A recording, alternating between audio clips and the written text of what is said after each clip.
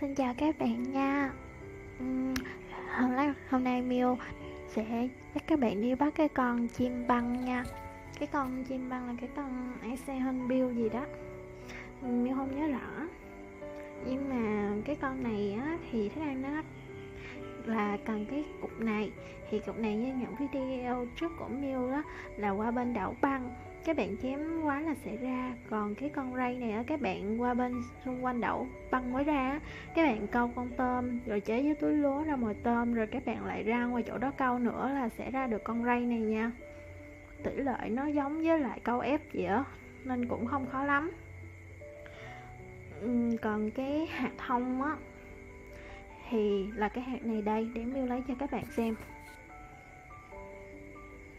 Đây đây là hạt thông nha.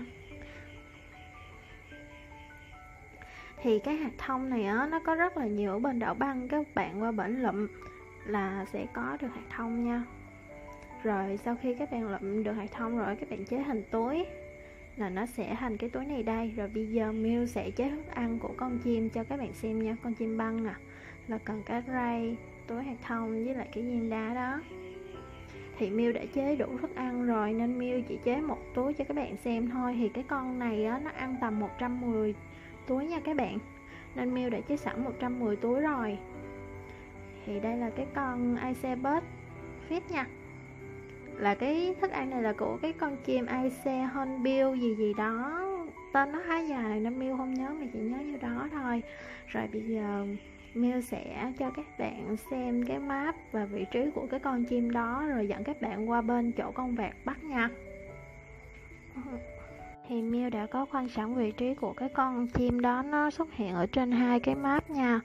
Thì map đầu tiên là cái núi băng nó vừa ra đây nè là nó chỉ có hai vị trí thôi, còn map thứ hai á, là cái núi tuyết này đây, là Miu đã khoanh những vị trí mà con chim nó hay ra rồi.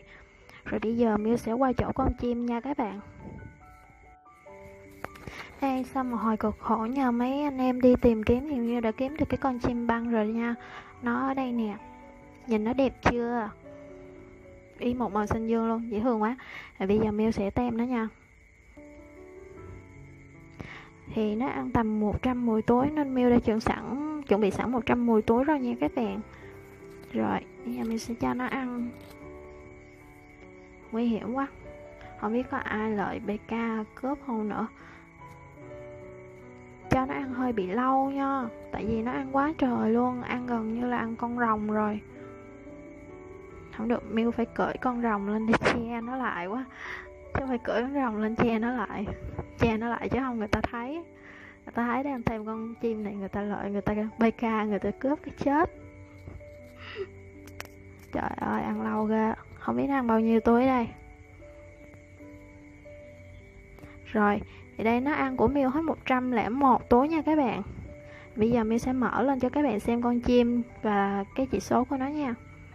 Thì cái chỉ số của con chim này là đi 73 7.300 còn 3 là 11.000 nha các bạn. Nó cao hơn Giffin rất là nhiều. Đẹp quá. Cảm ơn các bạn đã xem video của Miu nha. Tạm biệt.